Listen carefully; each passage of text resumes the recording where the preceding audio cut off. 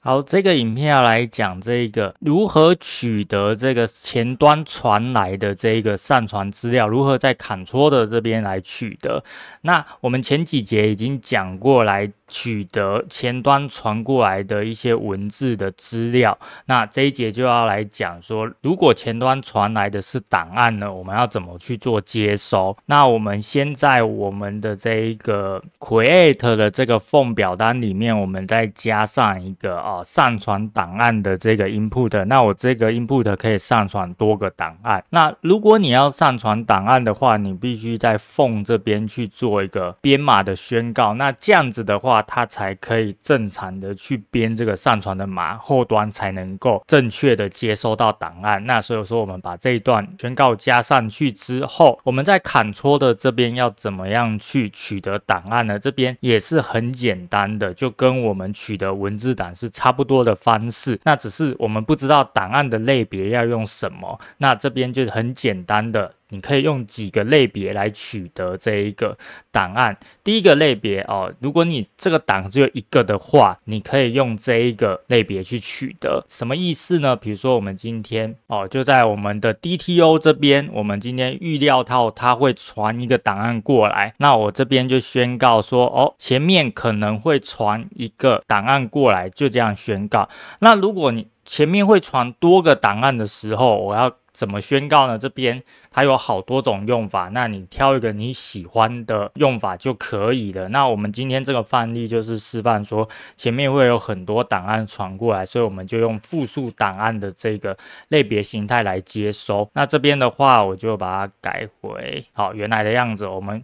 预料前面会有很多档案传过来，因为我这边哦是宣告可以多个档案同时上传。好，那这边的话我们就改好了，我们就存档了。那如果今天这边你是传多个档案，但是如果你这边宣告的是哦我只接受一个档哦，基本上程式也不会出错，反正它就会取得你第一个档案啊，大概是这样子。好，那我这边今天这边两个都是多数的档案，那多数的档案我这边宣告多数的档案，那你只传。个档会不会有什么问题呢？当然也不会，因为就是 list 里面就一笔嘛，就这样，所以也不会出错。好，那我们接着就要来简单写一下这个上传档案的这个程式哦，我们这样子才能够知道是不是真的取得到了这个档案。那我们这边就把上传档案的程式写在这个新增资料的后面，然后 return 的前面这边插入一段程式。那大概来看一下这个程式是什么。我这边把这一个取得的档案 for 一取，把它一笔一笔的取出来，因为我预料到可能会传多个档案嘛，所以我做做一个 for 一取，把档案一笔一笔取出来。那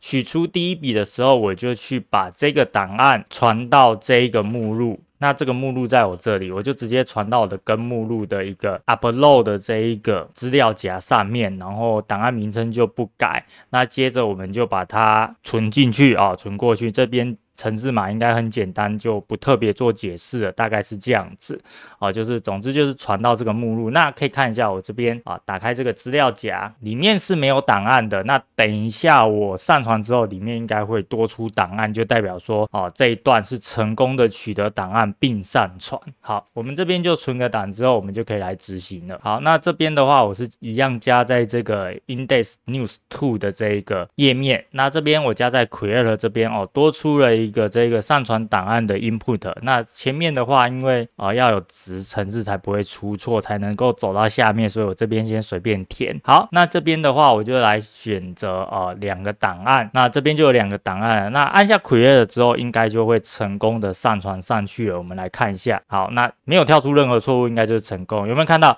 刚刚这边是空的，那现在就传上去了，代表说我这一个程式是有正确的，在这边宣告之后，这边。边就有正确的取得到我刚刚上传的两个档案，那这边就是把它取出之后，分别的去存到我。指定的位置上面，好，那这一张其实可以看到，在 MVC 这边要取得任何前端的各类的资料，真的很简单，就直接去在你的 DTO 里面宣告你要取得的资料形态，就可以取到前端传来对应的资料形态。好，那所以说今天这边就简单的来教一下，如果对方是传一个档案过来，我在 Ctrl 这边要怎么样宣告才能够正确。的去接收到档案，就这么简单。好，那今天的影片就先简单的介绍到这边，谢谢收看。